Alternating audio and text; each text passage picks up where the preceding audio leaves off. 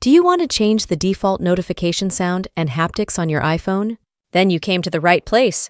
With the new iOS 17.2 update, Apple adds an option to change the default notification sound and haptics on your iPhone. So, in order for this to work on your device, you first have to make sure that you're running the iOS 17.2 software update, or newer. You can check that out by opening your iPhone settings, then go over to the General section. Find the Software Update button and click on it, and check if you have any new updates available. This is a new feature that will only work with iOS 17.2 or above, so if you're on iOS 17.1 or lower, you have to update your iPhone software.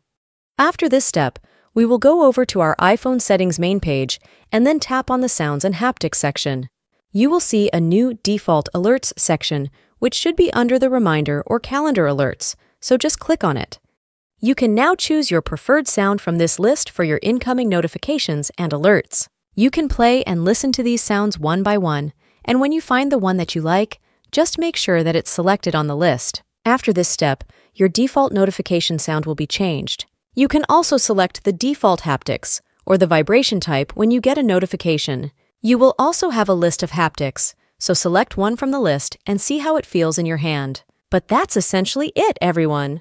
That is how you can easily change the default notification sounds and haptics on iPhone. Thank you so much for watching this video, and I will see you soon.